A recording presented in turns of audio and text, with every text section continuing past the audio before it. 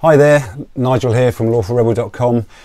Just a quick message today, guys. First up, thank you for um, subscribing to all you uh, recent subscribers and welcome on board.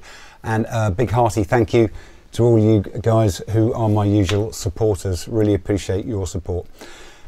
Essentially, the message here is to just point the finger to episode 158, link below, which is on my BitChute channel.